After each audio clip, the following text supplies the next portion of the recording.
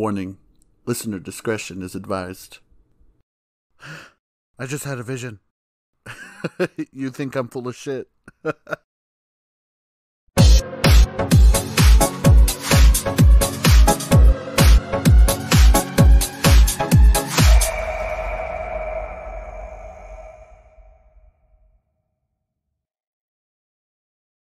Hey, what's up, you guys? I know it's been a very, very long time.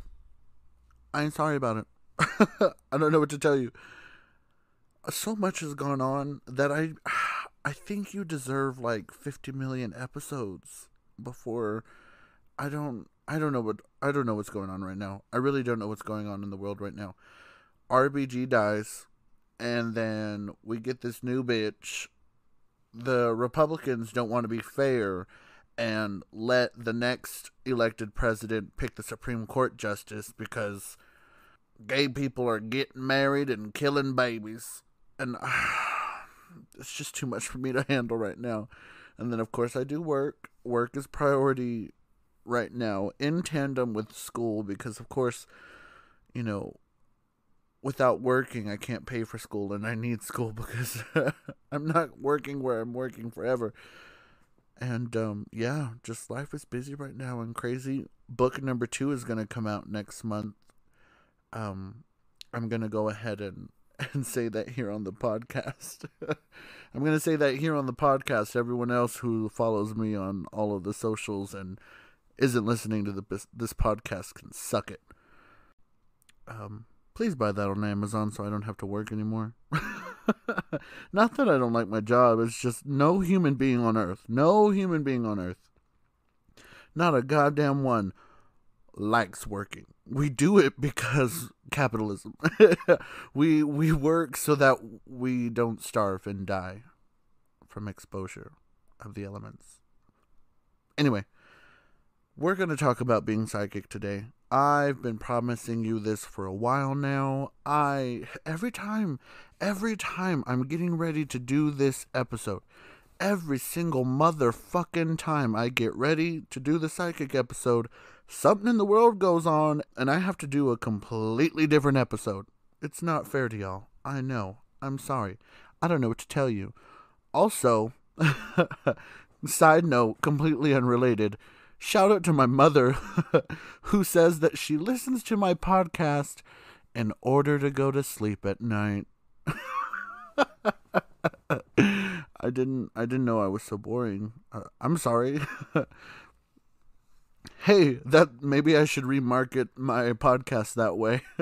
I should rebrand it as the, you know, Fonzie talks about random shit you don't care about until you softly and gently fall asleep. Anyway, let's um let's talk more about me being psychic after the commercial break. Let's pay some bills. A few people have asked me while I was plugging this show for the past few weeks or so, how do you make a podcast even? And there are a few ways to get from point A to point B with podcasting, but my favorite answer is always Anchor. Anchor is a free podcast hosting site, and it takes all of the work and hassle out of the equation so you can just focus on content. And I like that because I'm a busy person. I have one of those grown men 401k jobs and I don't have a lot of time for all that extra stuff. I like to use my MacBook to access Anchor. Apple, please sponsor me. but there is also a mobile app that works just as well. And you'll have everything you need to record, edit, and distribute your podcast right at the tip of your fingers. Anchor will also automatically distribute your podcast to just about everywhere podcasts can be heard including Spotify, Google Podcasts, and Apple Podcasts. And you can use the RSS feed that they will provide you with to fill in the blanks if you find any. Unlike some podcasting networks that usually require you to have thousands of active listeners before they'll even consider monetizing your show, I have zero listeners right now, this very second, and I'm already able to monetize and make money on my very first download through Anchor. So, if you've ever been curious about starting a podcast and it just seemed too technical and out of reach to achieve, you should definitely check out Anchor.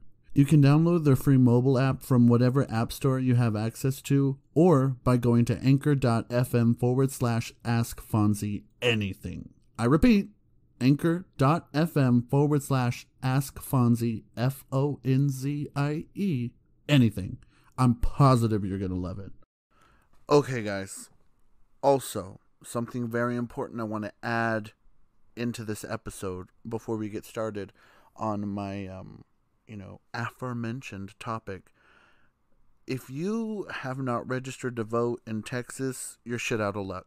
The deadline to register to vote in Texas was Monday, October 5th. Sorry about it. Y'all have been told for a while now. I have many, many, many states. In fact, all five of this election season's battleground states, I have someone listening to this podcast from. So go out, re- find out what the deadline to register to vote in your state is, and then go and register to vote. It is so important. Our only civic duty and responsibility as Americans, in reciprocation for the freedoms that we are afforded as human beings, our birthright as American, the only thing we have to do is vote. It's our only civic duty make sure you go out there and vote. It's really important. I, am going to talk more about the election in another episode. I'm going to do my election day episode the week before, the Monday before election day. It's it's really important, guys. It really is. I can't stress this enough. But anyway, that's not what we're talking about right now. Y'all want to hear about me and some spooky shit, so that's what we're going to talk about. Now, I would like to preface this episode by saying if something crazy happens October 6th, because I finally uploaded this episode after months, well, two, I don't know why I'm being extra, after two months of trying to get it out, if something crazy in the world, like fucking Yellowstone explodes, I'm sorry. it, it, it, it was time. I think Yellowstone exploding would be the perfect ending to this shit whole garbage dumpster fire year. Anyway, I'm gonna do it fast and loose this episode. You're gonna hear shit in the background. I don't give a fuck. It's 8:59 p.m. It's almost nine o'clock Monday when I should have had this up at midnight on Monday. I don't know what to tell y'all. I, I'm busy. I'm busy. I'm busy. Not enough people listen to this podcast. Not enough people buy my books for me to not have to go to work and shit. I don't know what to tell y'all. I have to I have to balance it out somehow. so, psychic. I think this is going to sound cliche. Um, but I'm going to start at the beginning and with the basics. This is me playing with a water bottle by the way. The ooh,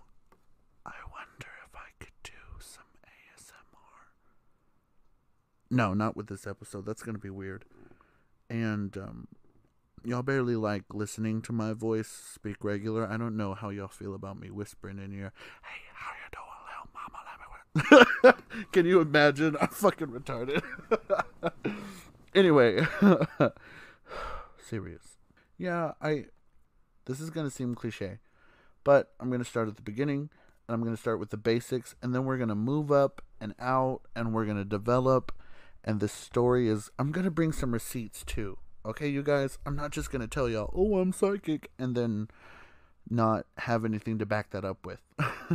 so we're gonna talk about when I first noticed what type of psychic I am because people think that being psychic is everything that you've seen on TV. People think that being a medium is a psychic. Of course, there are psychic mediums. Of course, there are intuitives who are not mediums. It's it's an entire umbrella term that society is inaccurately put over people who are, you know, kind of able to tap into the metaphysical and the parapsychological fields of our naturalized reality. I feel like the word psychic has gotten so gummed up and people have become so misinformed about what it means to be psychic based on pop culture's influences through movies and TV shows that the real core of what it means to be psychic is kind of lost. That that information and that knowledge of what it the factual knowledge of what it truly means to be psychic is lost to people who might dismiss the the existence of psychics, the validity of psychics, I totally get skeptics. I'm not judging you. I am a very show me kind of person. I could have been from Missouri, I swear. But by the grace of God, I was born here in Texas. Yes, ma'am. Anyway, I.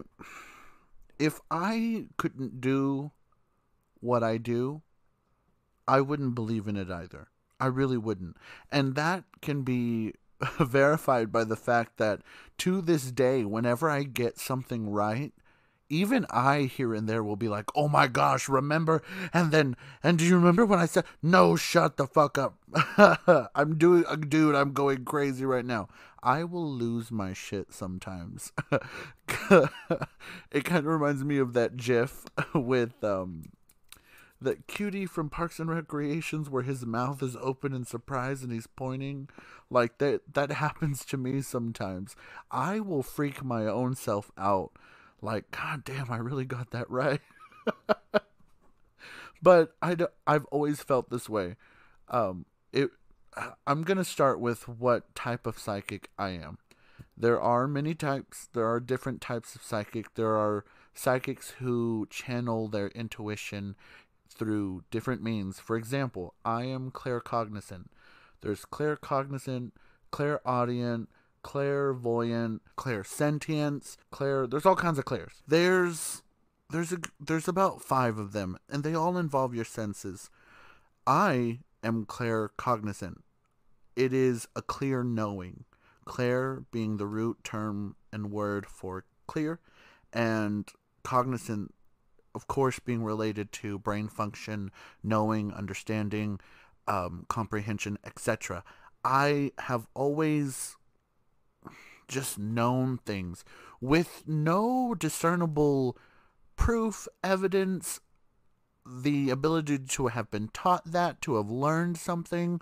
I have always just known deep in my gut.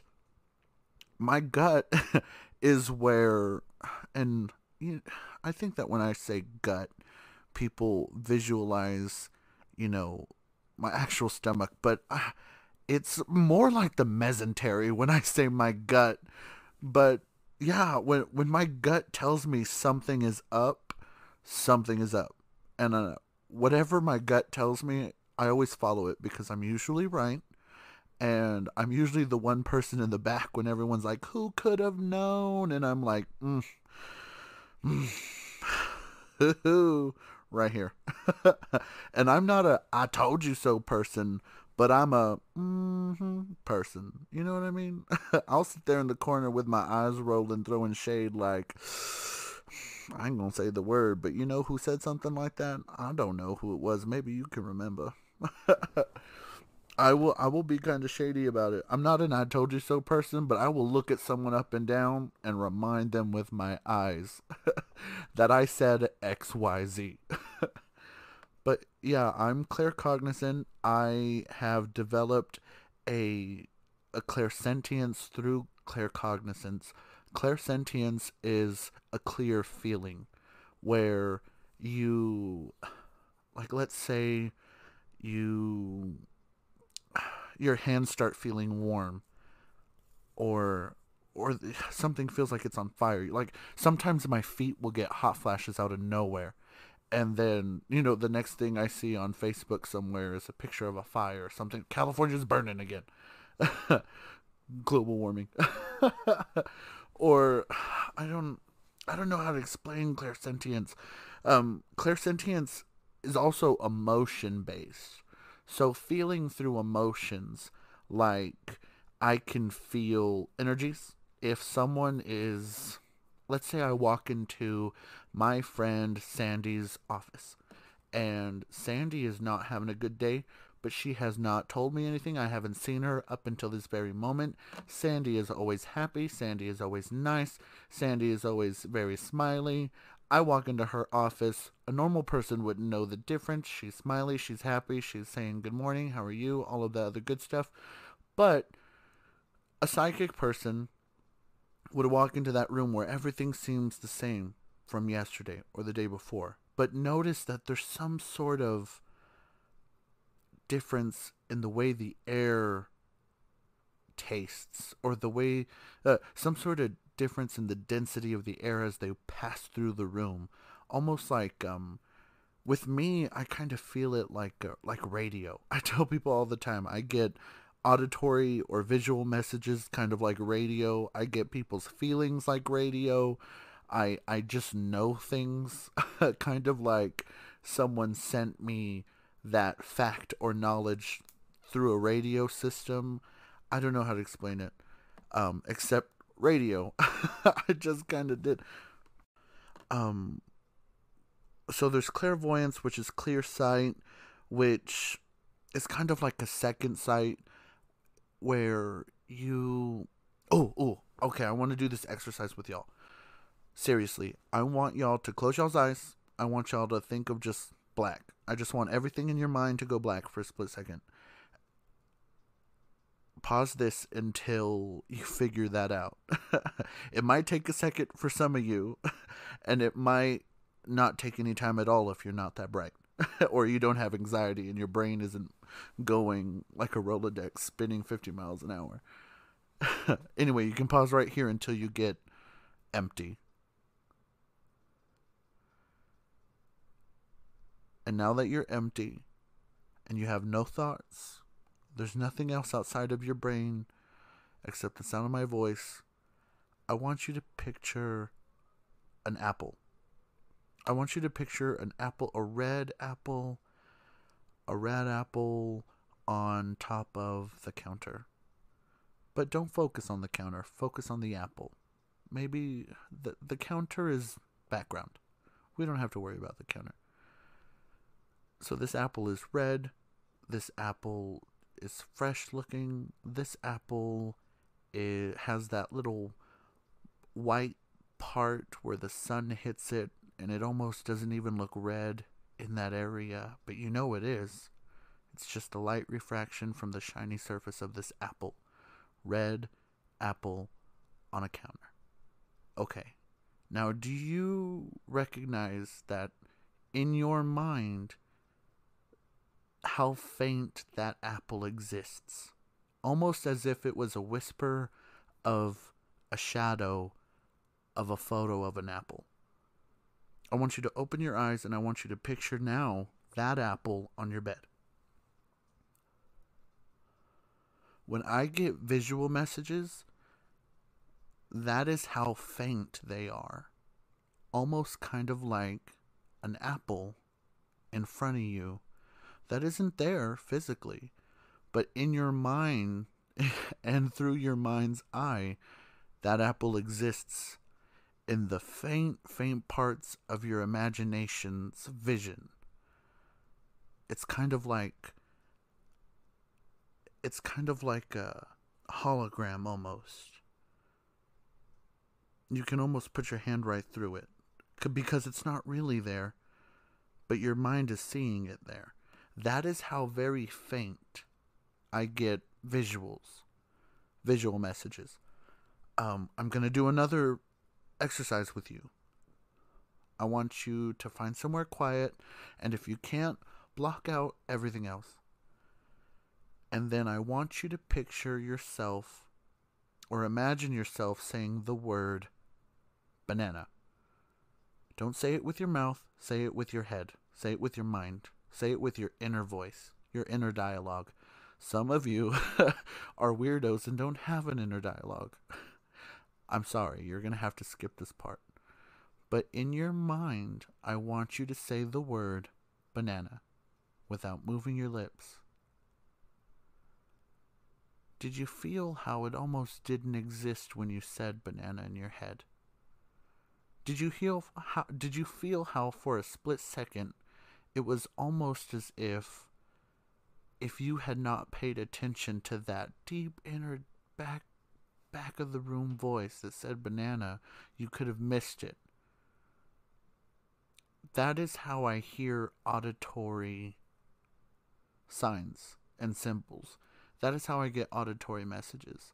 In the same faint, faint voice. Faint, almost non existent, almost if someone was caught in the average day to day hustle and bustle of all of the tasks and stuff that you got to do while you move through the day, an average person wouldn't focus on that tiny itty bitty thought that is a shadow of a whisper of the word banana in your mind. The average person would just like completely mow over it because they got other shit to do. But I don't just believe that those things are in me. I don't just believe that those things are in me alone. I don't think I'm the only person out there. I know in my soul that everybody is clairaudient, everybody is clairsentient, everybody is everybody is psychic in a way. Because being psychic is a muscle that you have to develop over time. Even I to this day, someone who who's known they were psychic since they were a young young child. I knew I, w- I knew I was different very very young. To this day I have to actively attempt to stretch that muscle, to pay attention to faint whispers of a shadow of a voice in the back of my head. One of the ways that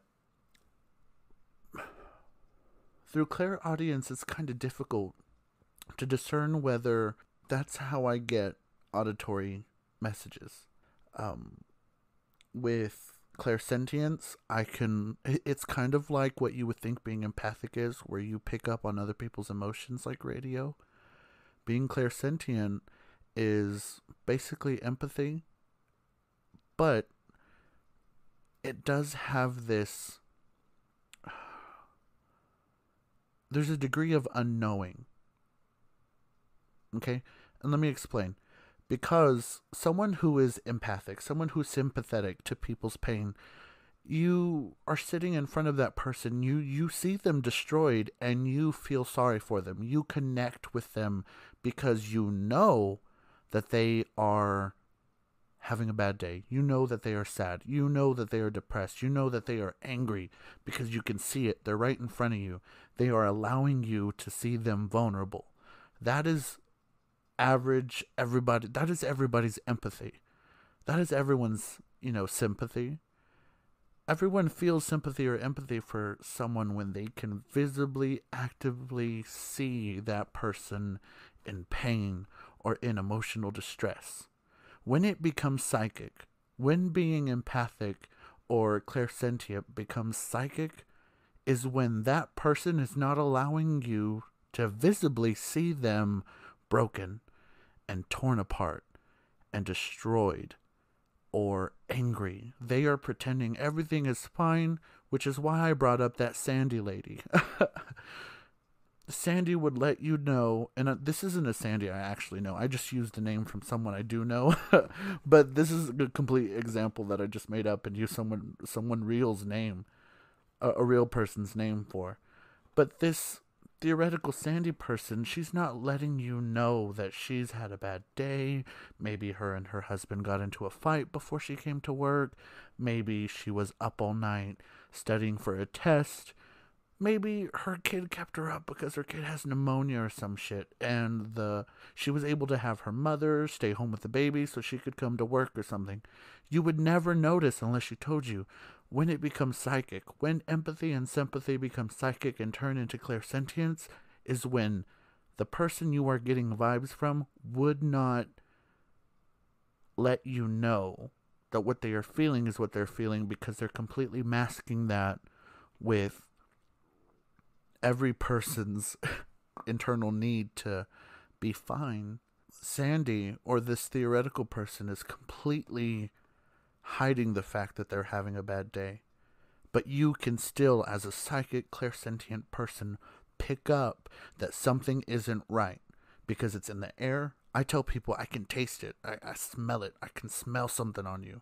It's not an actual scent, but that is how my gut and my my mind's eye perceive those radio signals.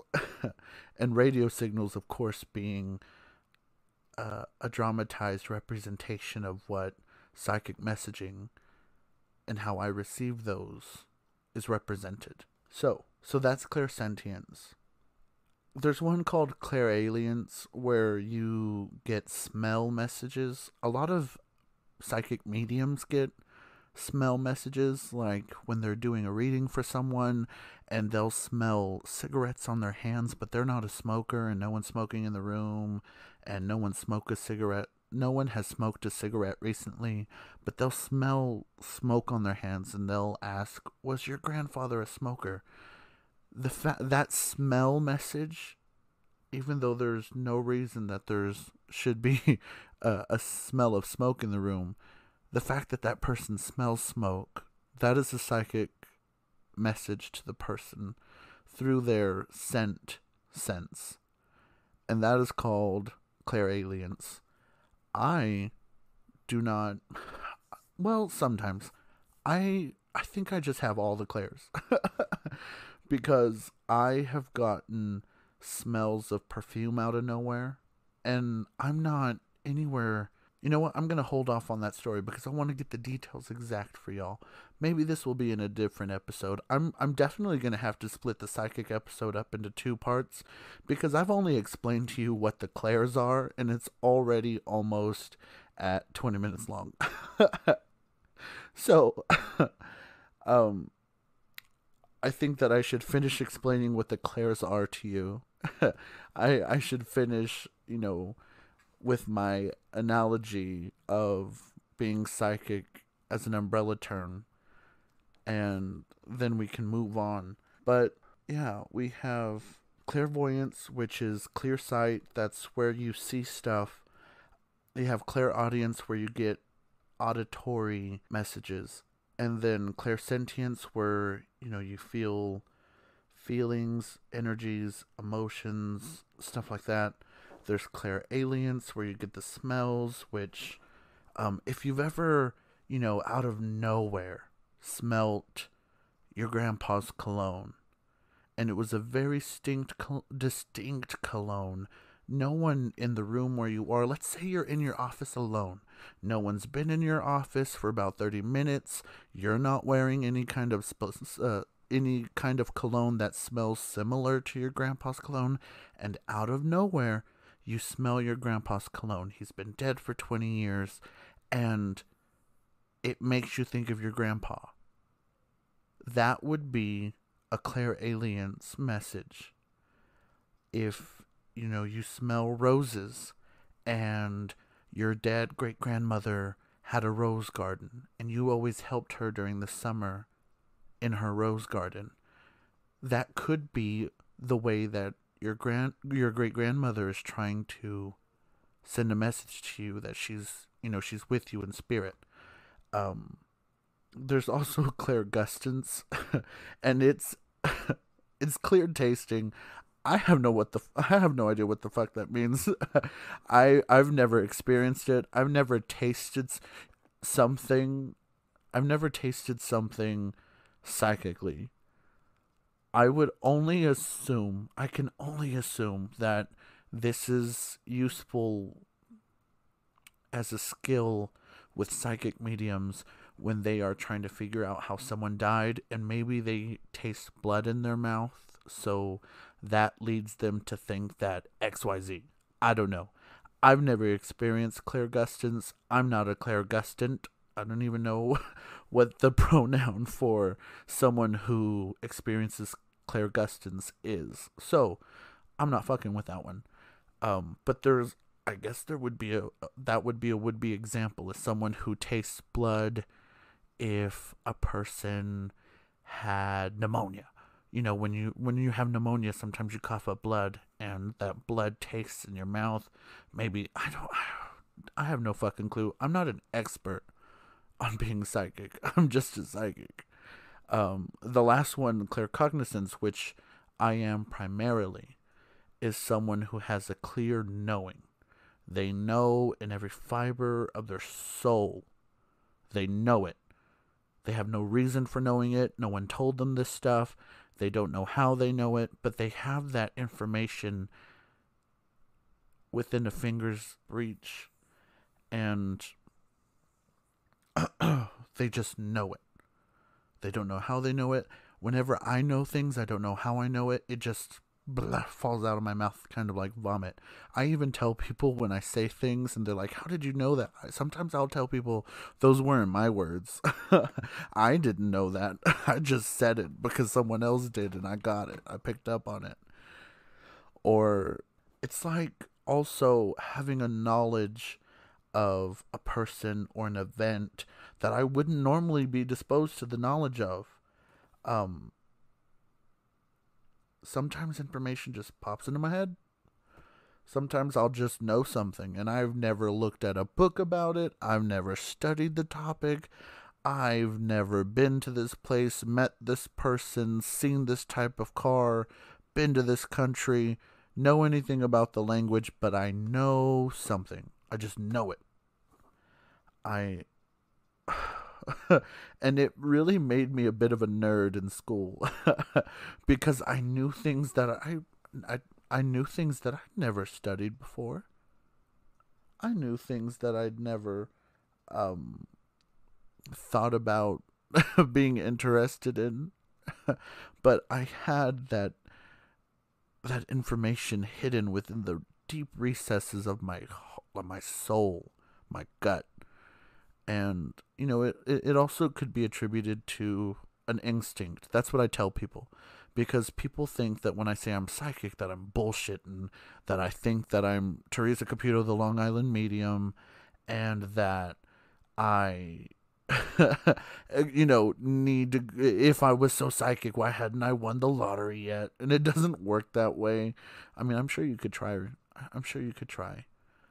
Um for me, there's an ethic problem. There's an ethical issue with trying to play the lottery, being psychic. Um, but yeah, I just I don't know how I know things when I know them, but I do. And when I tell people that it's just a very, very, very, very strong instinct, almost as if, you know, a normal person's instinct was based off of something that was set in stone. That is kind of what it's like for me. I and I and I tell people back to what I was saying a second ago, whenever people, you know, ask me why I think I'm psychic or how I know I'm psychic or stuff like that, I tell them it's not so much that I'm any different than a normal human, a normal human being. Everyone has these proclivities to psychic ability the difference between me and some other persons is that I have over time fine tuned that tool available to me as a human being. Every single human being on this planet, I'm gonna sound fucking crazy. every single fucking hu- every human on this planet is psychic. It is bred into us. We've evolved into it. It it is a part of our DNA. It is a part. Is it a it is a part of our anatomy. It came it's a default setting. It is a factory setting when they open up the box. a person born into this world is psychic. Everyone is. Being psychic is a muscle. Psychic ability is stored within your pineal gland. It's a muscle it's kind of like a little organ in your brain where your third eye is. Buddhists knew about it a long time ago. That is why you will see many Buddhists and Asian um, cultured people with a dot on their forehead, jewelry on their forehead, headbands, head wraps, ornating their third eye, because we've we been knew about the third eye for thousands of years. Um, our pineal gland, according to some some reports by fellow psychics, people who've been in the biz a lot longer than me, um, scientists. There really is a pineal gland in our brain about where our third eye is. And according to these scientists and psychics and all of these people doing this research, our pineal gland used to be an actual eyeball. And we had this eyeball way back before we were monkeys in the evolutionary chain and we use that third eye as a sensory organ, kind of like our eyeballs. But it's what helped us survive in a way. And over time, we stopped needing that sensory organ. our pineal gland. We stopped needing our pineal gland as dominantly as the human race evolved because life became easier through innovation.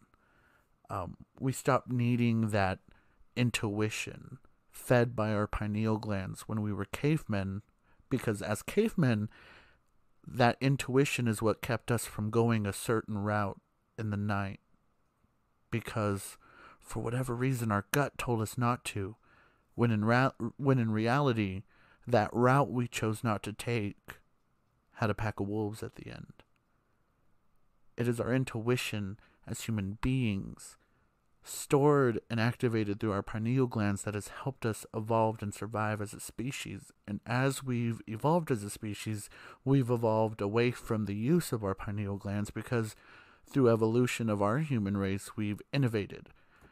You know, nowadays we have TVs, iPhones, GPS. We have all the things we need to survive in the world without an intuition. Mothers have a strong intuition because they have this cosmic connection to their children. Almost, almost, I can't even put into words. There, there isn't a word in our popular English lexicon that even skims how connected a mother is to her child. But that intuition slowly bred out of us as we've evolved as human beings because we don't use it. As children, we do. As children we use that intuition. That intuition helps fuel our learning. Our intuition in tandem with all of the things that we're picking up from the universe around us because our brains are sponges. We use learning and we use our intuition to feed and cycle how we take in the world. And that is why you will hear people say all the time that children are more connected to uh, spirituality and spirits and stuff like that, and things then things that let the average adult isn't really connected to because a child sees the world through both lenses, parapsychologically and metaphysically. You know, through this mystic kind of spiritual window. And then they see the world through the physical, logical window that everybody past the age of eight, unless you develop your intuition, sees the world through. One plus one is two in this window. The sun goes around the earth at night in this window. Leaves fall, gravity exists, the earth is round. water is not wet, but fire is hot, and things that make sense logically are viewed through that window. And as adults and as teenagers, we slowly grow toward only seeing the world through that very logical window because we've become intelligent in the classical sense. But children and psychics maintain their ability to see the world and perceive the world through the logical window and the parapsychological window and the clairsentience window, the clairvoyance window, the clairaudience. They they maintain their connection to the other window so that I always tell people mama raised a survivor. and I honestly believe that I maintained my psychic connection and my ability to look through the through the the other window and carry that other window with me through life because I knew that if it even helped me 10% survive, Mama raised a survivor and that window's coming with me.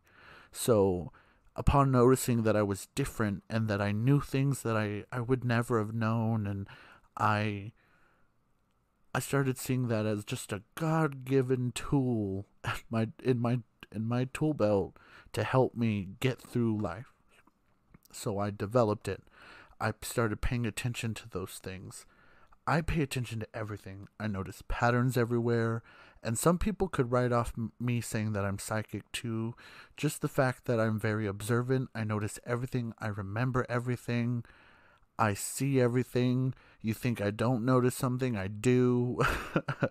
but I also know that most of that is fueled by my intuition and my inner knowing and my ability to do so based on my understanding that I have to pay attention to the things less noticed. I have to look for my messages in the faint voice that the average person would just, you know, sweep to the side. I have to pay attention to the to the small shadow of an apple on a counter that isn't really there. A faint whisper of a shadow of something that, you know, doesn't isn't materially in front of me, but psychically intuition wise, that apple is really just a message for something else. Maybe a teacher of mine is in trouble. Maybe a, an older teacher of mine died at some point. I don't know. I don't know how I would. My symbol for apple is is either a woman or an old teacher or an old person. But yeah, that's that's kind of what I want to say about just the basics of what it means to be a psychic. Everyone's psychic. Only some of us who can try. Uh, uh, every every human being has the proclivity to be psychic because everyone comes with a factory intuition ability. Not everyone turns it on when they open themselves up, but it, it's available to all of us. If you've ever if you've ever thought about someone and then your phone immediately rang and it just happened to be that person, that is your psychic intuition telling you, trying to give you a heads up. and the average person would just think, oh, it's a coincidence. There are no coincidences when it comes to when it comes to things like that. There are no coincidences when it comes to those types of correlations. I, I it happens to me all the time. I will think of someone out of nowhere. Maybe I'm not even I haven't talked to that person in weeks. I haven't I haven't seen their Facebook, or Snapchat. I have nothing to do with this person for like 2 or 3 weeks, maybe a few months, and then out of nowhere they'll sna- I'll think about them and then they'll Snapchat me seconds later. And of course, as someone who pays attention to signs and symbols, I've now decoded and have been able to say that, you know, whenever I randomly think of somebody, it's because I'm about to get a call or a text. and it's got it got to the point where when we had a house phone at home, and my mother can attest to this, she can tell you that this is real. so I'm not just bullshitting and making up some psychic nothing so that I can get views on this podcast. You can ask my mother. Her name is Misty Galvan. You can find her on my Facebook. you can ask her. She will tell you that when we had a house phone, like the old timey ones that were hooked up to the wall, there was one phone in the house, and you know, no one had their phone with them. No one had their phone. It was the phone. There was one house phone. My mother will tell you if you ask her that it got to the point where I could say, I'll get it. And then silence for two seconds and then ring, ring, ring, ring, ring. no reason I would know that that phone was about to ring, but that's where it had gotten to because I'd paid attention to the signs and symbols. I'd started to flex that muscle and, you know, look for those signals and pay attention to those messages and everybody can do this. everybody can do this. The very, very, very first step to f- beginning to flex that muscle is knowing that that muscle exists. That's step one. Kind of like getting over alcoholism.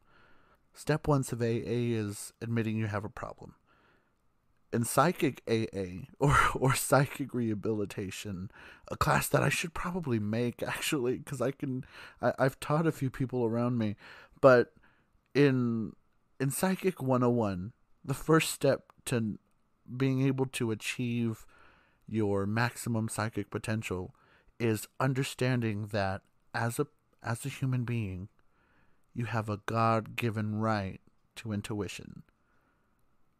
It is God-given. I, I understand that your holy book might say not to consort with people who claim to be mediums or psychics because they aren't speaking with anything holy. They're actually speaking with the devil and demons. But that's not the case with me because I, although I am religious and I am Catholic and I am Buddhist, um, spiritually anyway, and I do um, connect myself to voodoo, I I don't consort with anything negative.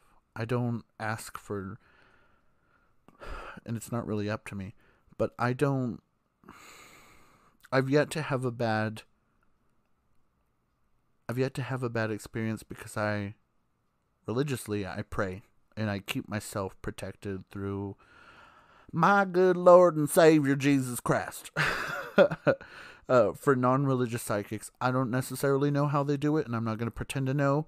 I know a lot of people who are, you know, agnostic and they're psychic, and they you know, surround themselves with a white, healing, protective light, and they imagine themselves, you know, engulfed in a in a bright white light that keeps away whatever. I don't I don't know. I don't know. I can only teach you and tell you what I know, and I pray to protect myself from anything negative. And um, yeah, that's that's the clear basics. Now, of course, there are you could be a medium, you could be a psychic medium, you could just be psychic. Um, someone who is psychic is not a medium, and someone who is a medium is psychic. Just like I said er, before about fruits and oranges. Um, I am Claire cognizant and I am clairsentient and I am clairaudient and clairvoyant. I am not a medium. I've I've tried to flex that muscle. It has worked for me here and there. Sometimes I'll get messages when I'm not trying to. I there's a story that I want to tell you later on in this series of episodes about me being psychic that you know would lead someone else to believe that I was uh that I was a medium but in true honesty, I was just using my psychic abilities, like clairaudience, clairvoyance, clairsentience, to connect uh, psych- psychometry wise to the remaining energy of that person and, you know, help in whatever way I could, which you'll find out about later. This first episode, because we're nearing 40 minutes, is going to just be me trying to dispel some myths and tell you the basics. I am psychic. I have receipts. um, one of them is my mother. You can ask her. I've been seeing spirits since I was young. I have been knowing things I would not know to save my life under normal circumstances. Um, one one thing that I, oh oh, I didn't even tell you about dreams and premonitions and stuff. I have, on occasion, had a premonition. Mine normally come to me in dreams. 99% of the time, if I need a direct message of something to come or something that's happened or something in the present that I'm not connected to because, let's say, the person I'm dreaming about that needs help is in Abilene and I am in Hereford, then dreams are the best way for my conscious because I'm like I said a very logical person to kind of tone down and allow my psychic subconscious to deliver the message it has to. Um that that's that's really what dream psychic dreams or premonitions are really all about is some of us are too type A to get the message we need to get. So the only time our our type A right half of the brain logical self isn't dialed in is when we're sleeping because that part of that part of our brain knocks out. It's got to recharge. It's got to remember shit for tomorrow. It's learning things. It's memorizing things our subconscious you allow the part of your brain that is anal and logical and what, what, what is the word I'm looking for? It is evidence driven and, and information based fall to the wayside. It, it takes a back seat. It's doing its own thing. And the part of our brain that is not completely logical doesn't, you know, worry about which window it's viewing the world through is allowed to take a front seat and drive us where we need to go. And that is why a majority of people who wouldn't consider themselves psychic can relate to the fact that maybe they've had a dream or so and it felt like a warning of something. Or maybe they, you know, saw their grandma in a dream and it turns out when they woke up that their grandma had passed. And in the dream, their grandma was saying goodbye, but they didn't understand what that meant because they didn't know that their grandmother, while they were asleep, was also, you know, passing in their sleep somewhere else. So, everybody. Anyway, it's my clear conviction that everybody is psychic. Everyone gets premonitions, and where I can sometimes relate to to the average person when it comes to premonitions is sometimes I don't know if what I'm dreaming is just a dream or if if what I'm dreaming is something real. And I say that because I have dreams all the time.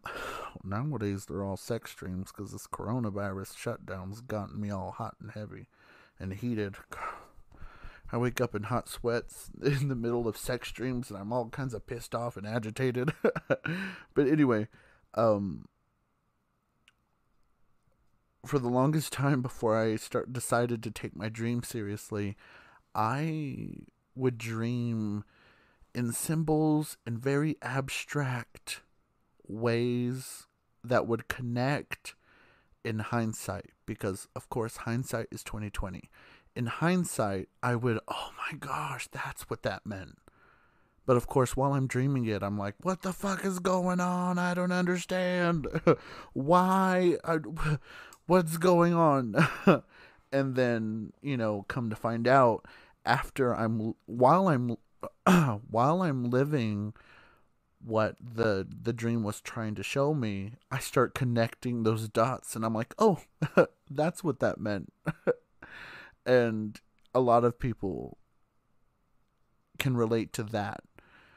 Uh, when it comes to the dreams, it's so it's so right or left and binary to me.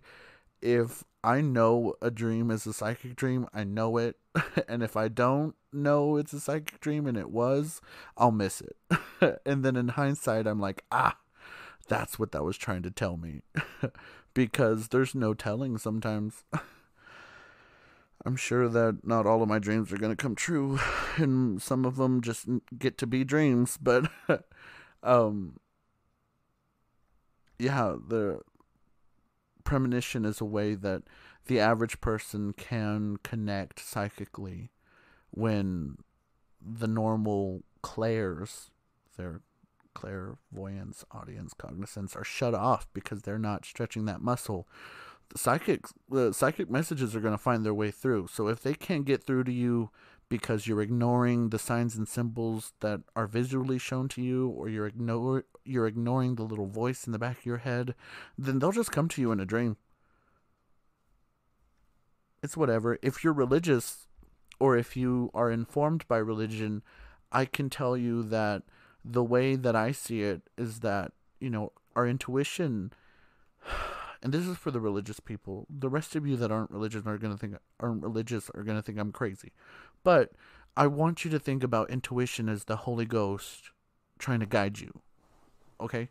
So, and in a, in that sense, being psychic makes a whole hell of a lot of sense because those feelings, those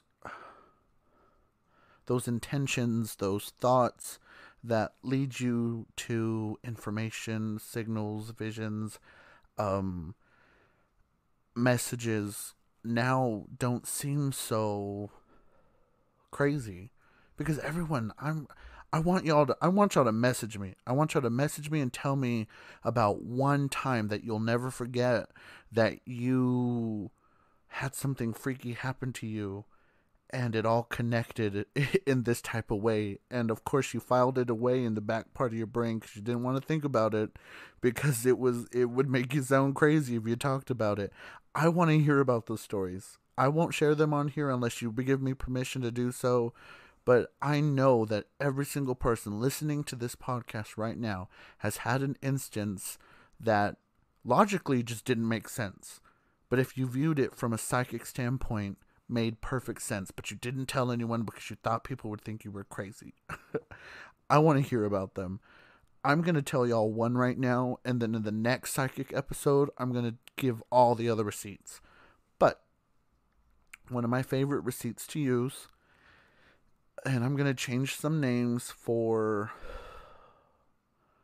identity reasons. I'm just gonna be honest. I'm just gonna t- I'm just gonna use their names. I'm sorry in hindsight if you get upset that I'm using your real name. uh, you're probably not listening to this podcast anyway because y'all are busy and y'all have kids and y'all have lives and stuff. Okay, so my best friend Mar- uh, Moran. I almost called her Marianne.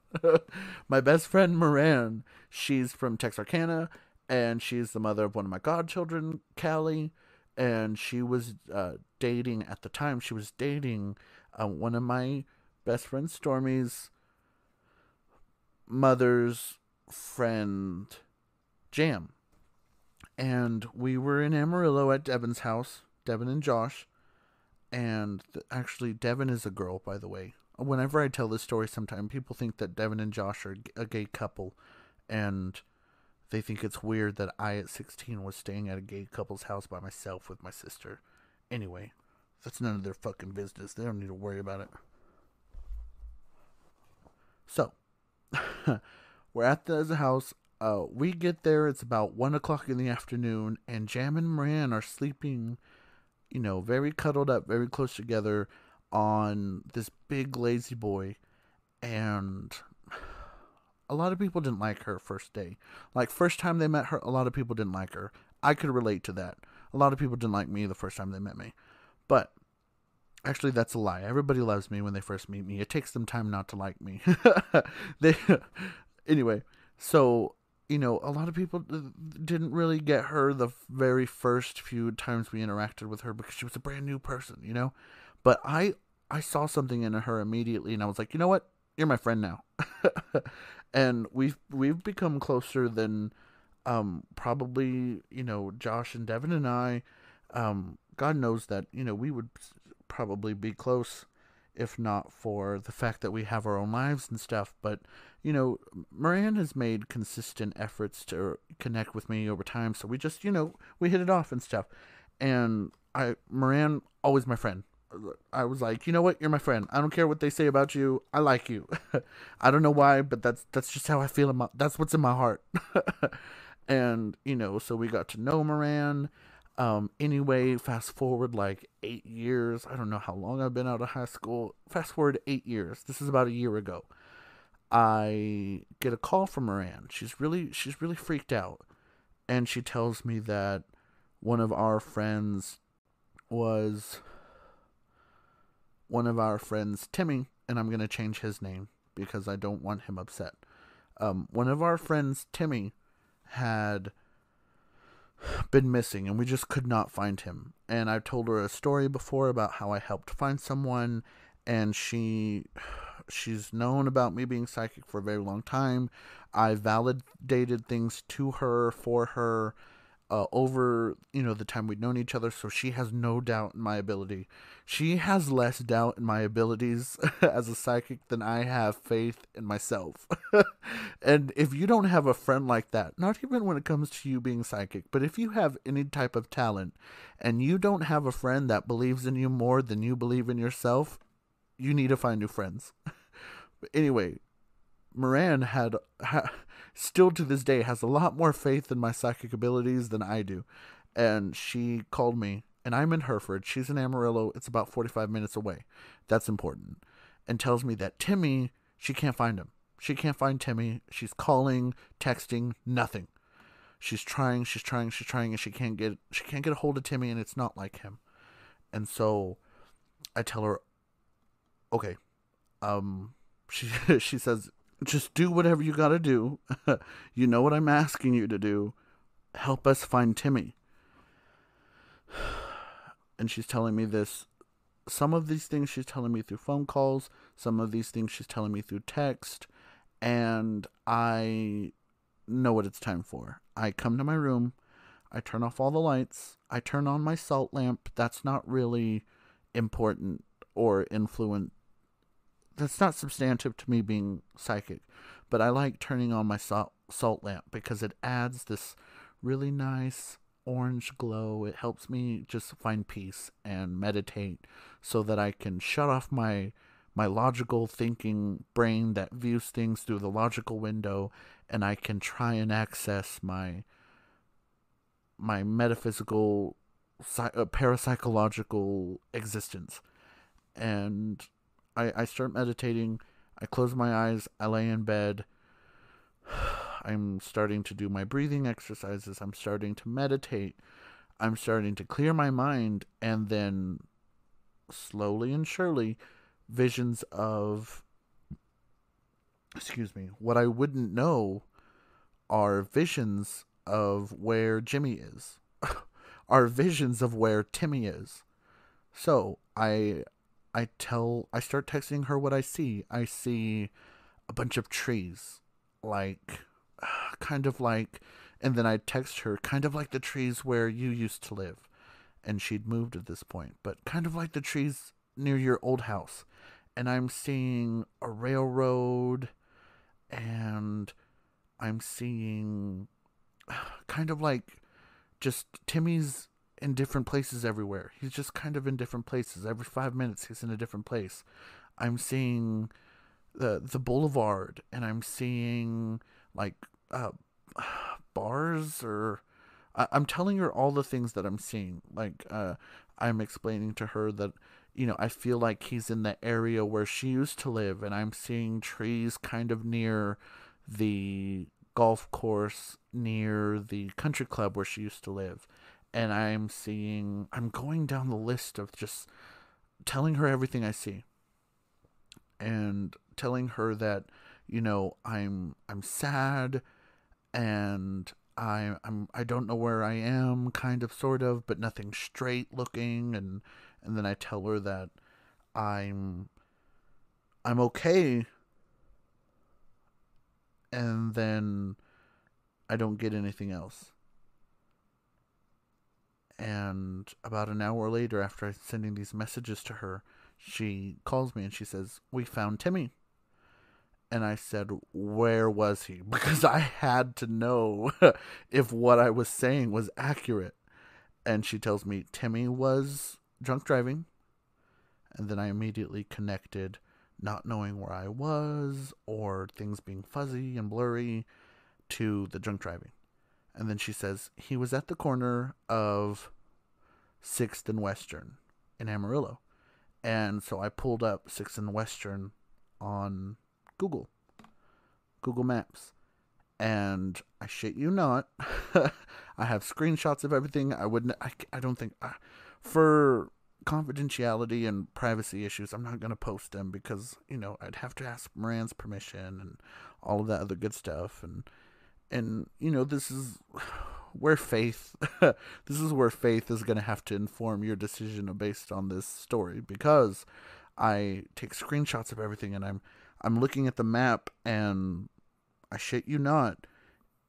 At the corner of 6th and Western, there are it, it's in the area where she used to live. She used to live on Southwest 10th Street, Southeast Southwest 10th, which is not that far from where they found him. It's four blocks, four blocks from where they found him, and there is a golf course in the area. There's a park in that area. There's trees everywhere.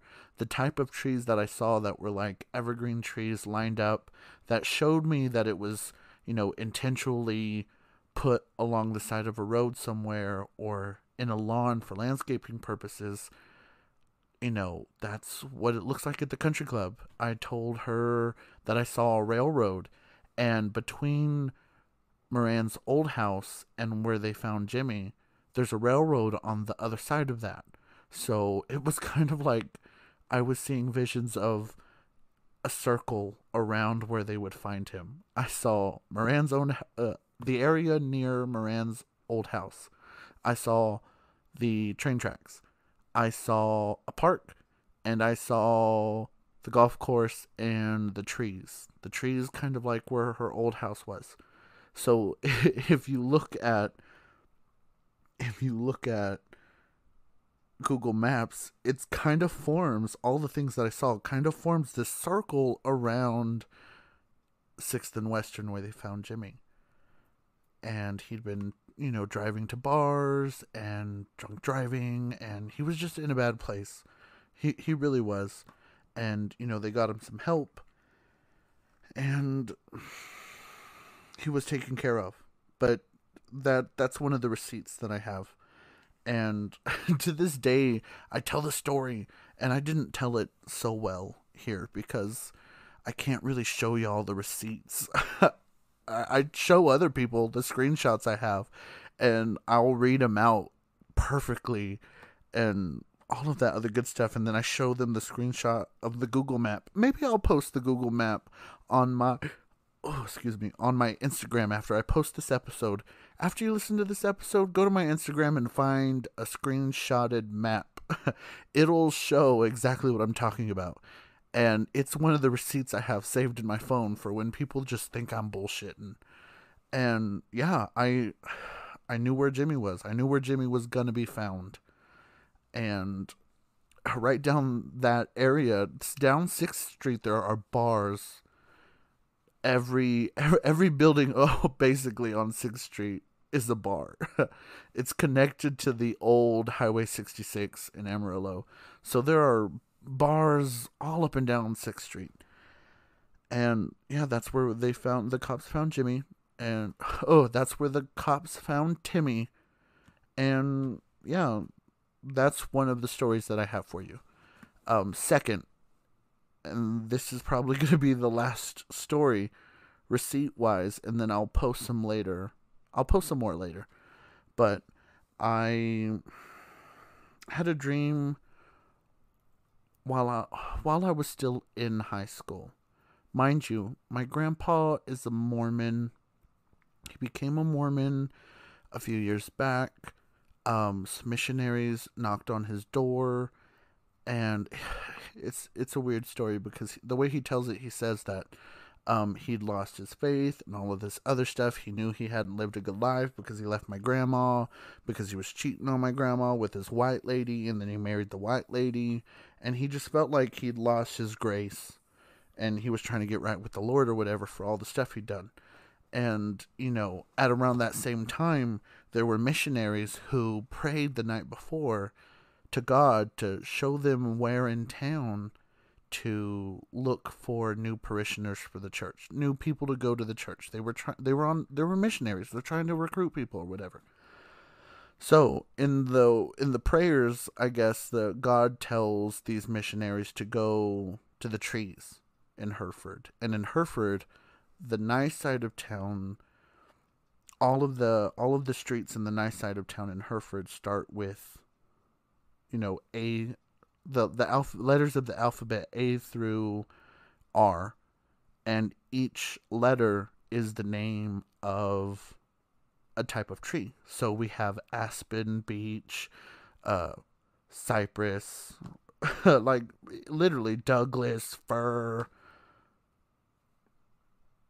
I'm telling y'all, it's like trees and shit. He, my grandpa lives on Hickory in the nice side of town, so it's H and he lives in the 300 block of H. And, and my the the missionaries um got that message from God apparently to go to the trees in Hereford. Go to the trees. And so they started they started on the 300 block of Hickory. And it wasn't very long until they got to my grandpa's house because my grandpa's house is near Our subconscious is what comes alive whenever we sleep. And our subconscious oftentimes allows the delivery of psychic messages to come through because our subconscious isn't type A. Our subconscious is where our creativity lies. Creative people have just an easier access to their subconscious and their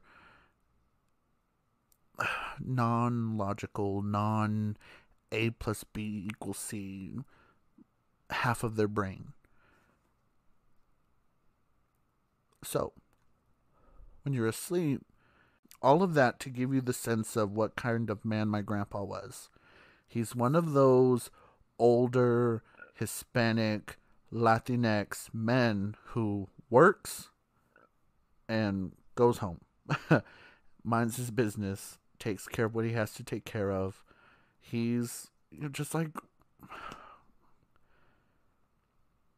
our culture's older men are have been beaten down by life because they grew up with nothing and they had to make it. So, you know, my grandpa is a colorful man in his story and what he's overcome, but he's a very quiet person. He doesn't speak much if he's not in his element. You know, he has a few friends here and there. Um, he's probably got a few girlfriends here and there, but that's none of my business. But very, very quiet. He lost his mother when he was young. He has uh, brothers that were also young when they lost both their parents. So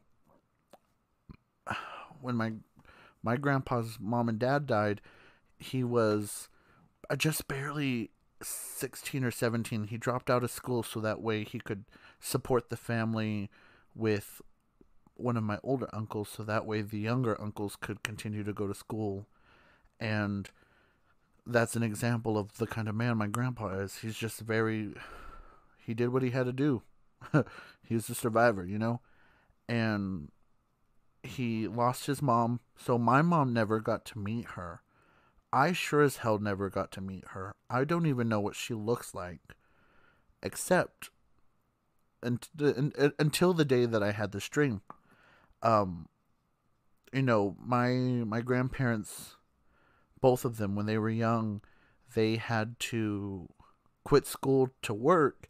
And my grandmother Sally she stopped going to school 7th grade because she had to go travel with my great grandparents to pick pick fruit and pick vegetables across the country so that they you know could make money.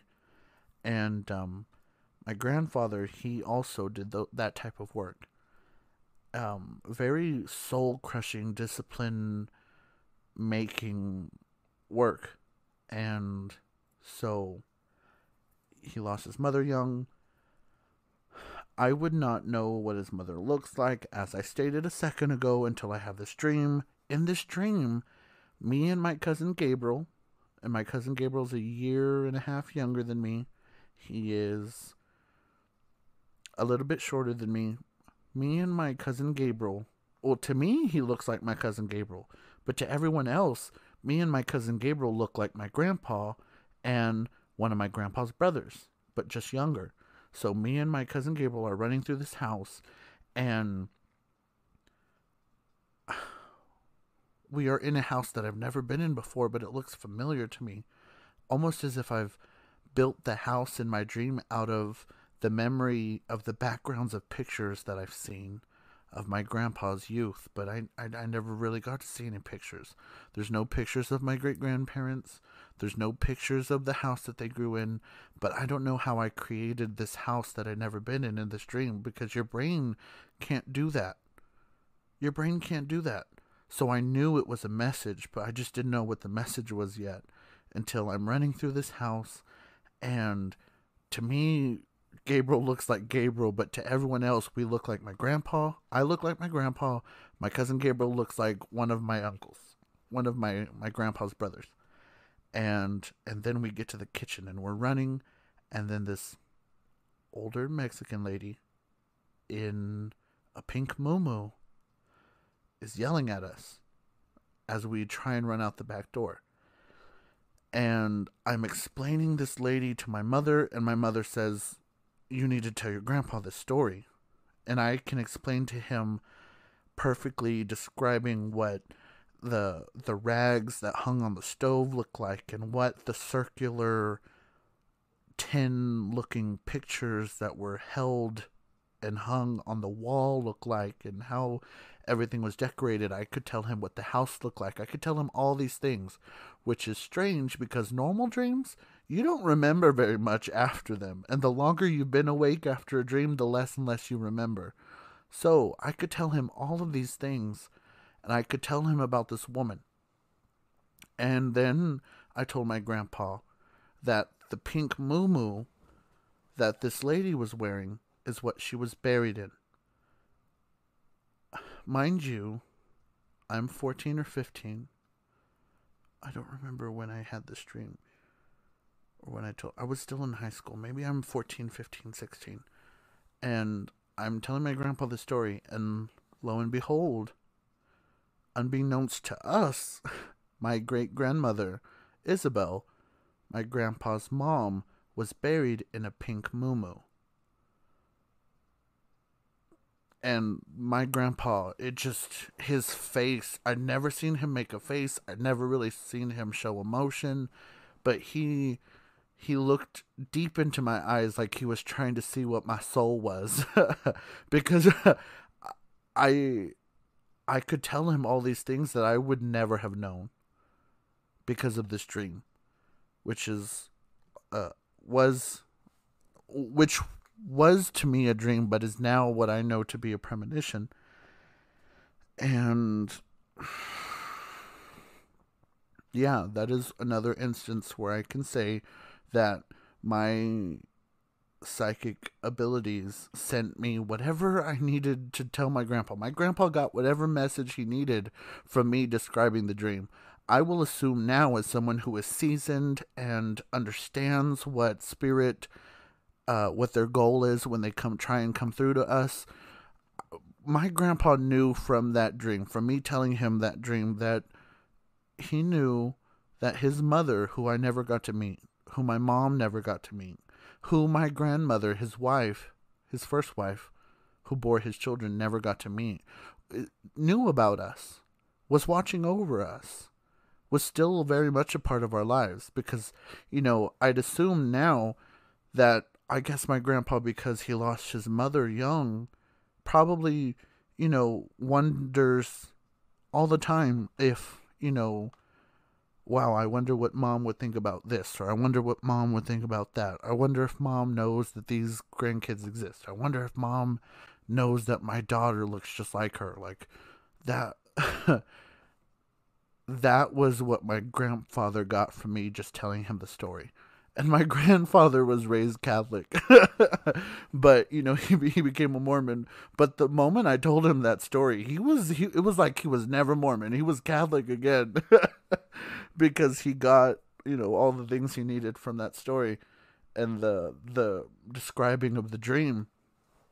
And those are two instances: the Timmy thing and the grandpa great grandma dream thing. Funny side note every day on my way to work and every day on my way home from work, I cross by, I pass by a cemetery. And at the corner of the cemetery where there's a stop sign where every single day I stop and I turn towards the street where I go home, my great grandmother Isabel and my great grandfather Benito are actually buried right there at the corner, one or two spaces away from the stop sign. So every day, you know, I get, I, I, I pass by where they were buried. And that's just another, you know, weird thing to sprinkle on this episode.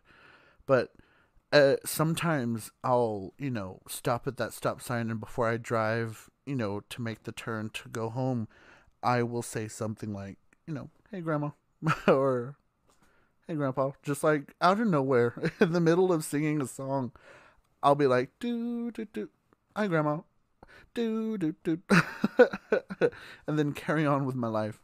But I've never seen physically these people, but I know that I that they that they watch over me. I know that every single day when I pass by them, I I feel safer knowing that in the way that they couldn't get to know me while I was a baby, while I was still alive, whatever time that God would have given them had they had they lived long enough to see me, they you know they see me every day. they see me every day when I go to work, every day when I come home, and when I come home, sometimes I'll say thank you because I know that I made it home safe because of them. But it's also because I'm not just psychic, but I'm also really religious. So I guess that's my weird religious psychic silly way of of acknowledging, you know, the two of them. Anyway, I have so many more stories to tell you guys about that relate to receipts that can prove or just justify my psychic abilities. But this is already in recording before editing, this is already an hour and 27 minutes. an hour and 27 minutes. And I still have to edit this before I go to bed so I can post it for y'all. Because y'all deserve it. Because y'all been so patient with me. And y'all are great. And I love y'all and all of that other good stuff. So, I'm going to cut this episode short right here. Psychic Part 2. The Psychic episode Part 2 will be coming to you when it comes to you I will I've not forgotten. I will make it I will make it my priority to make sure that you get part 2 of the Oh, I'm, that wasn't me farting. That was I I have this big jug of water cuz I'm always thirsty. um I will make it a priority to make sure you get the rest of these receipts in an upcoming episode soon. Very soon. If not this this weekend. Maybe I'll finish this on Friday. I don't know. but I will make sure that y'all get the rest of this these stories because one they're interesting and two I'm tired of y'all calling me crazy or thinking that I don't care. and three, I'm tired of things happening in the world and going wrong because I've refused and neglected to post this specific episode. So, thank you very much. Y'all are great register to vote if you still can. If not, why the fuck not? and make sure that you vote November 3rd to save our democracy. It's important, guys. Oh, water. Oh, let me tell y'all something. If y'all want to buy me something for Christmas, send water or tea. I will pick water or tea any day over a Coke. I, I hate Coke. Water, tea, that's my, that's my judge. Anyway, so, you know, it wasn't long until they found my grandpa's house. Because my grandpa, the 300 block of Hickory, he doesn't live very many houses away from the start of the street. So these missionaries, the day that my grandpa is, you know, getting ready to find God and doesn't know what church to go to, and the day after these missionaries prayed to god before bed to send like you know to ask them where to find open hearts that would be accepting of the mormon message to go to the mormon church here in town. And apparently god allegedly god told them to go what i'm a good christian. Mormons i don't know. They are christian because they believe in the teachings of christ but they have different testaments. All I'm going to say is God sent them to that block. They met my grandpa. The rest is history. He's a Mormon. He's very conservative. He, you know, he's kind of, he's a very hard worker. I will always say that about my grandfather. He's a very hard worker. No matter the mistakes he's made in life, he's always, you know, been a, a, a hard worker. He's always tried to provide for, you know, his family in a way or he takes care of us now whenever we need something that we just we have a rock and grandpa's our rock. We and that's why he works so hard because he wants to make sure he can take care of all of us. He has four kids 11 grandchildren.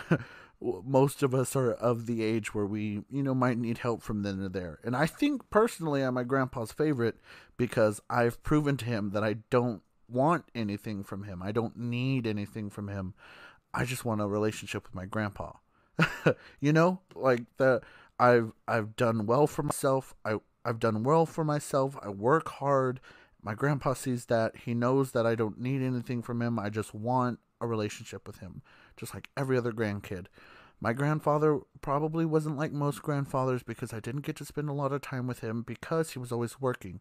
So I used to go to church with him, to his church. I'm not a Mormon, but I went to that church with my grandpa just so I could spend time with my grandpa. And all of that just to with that being said, we've officially made it to the end of Ask Fonzie Anything. Thank you so much for sticking with me through this entire episode. If you want to hear more, I have tons of episodes posted already, and I'll post new episodes whenever I want. No, but seriously though, usually Mondays, and when the show starts growing, I'll start releasing episodes twice a week or something. If you like the show, it is available almost everywhere podcasts can be heard, including Google Podcasts, Apple Podcasts, and Spotify. Make sure you add, like, subscribe, or follow me on my social media profiles. It's at Fonzie Graziano on everything, so you don't have to worry about missing an episode. Make sure and send me DMs to request episode discussion topics. You can write into me if you need advice. I've been told I'm an infinite spring of wisdom. I can definitely give you an outside perspective. I'll tell you what I would do anyway. And who knows, your letter might be the one I answer in the next episode.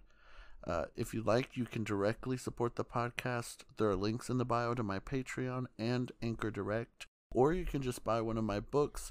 My first book, Glory, is available in print on Amazon.com and Walmart.com.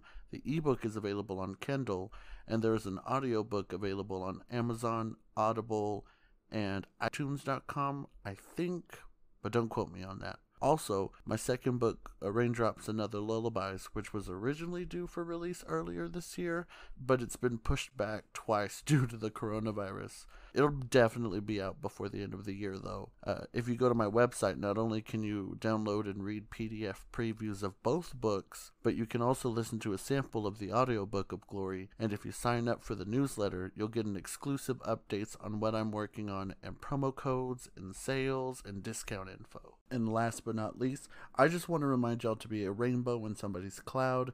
Be kind to yourself and others, unless they talk to you crazy.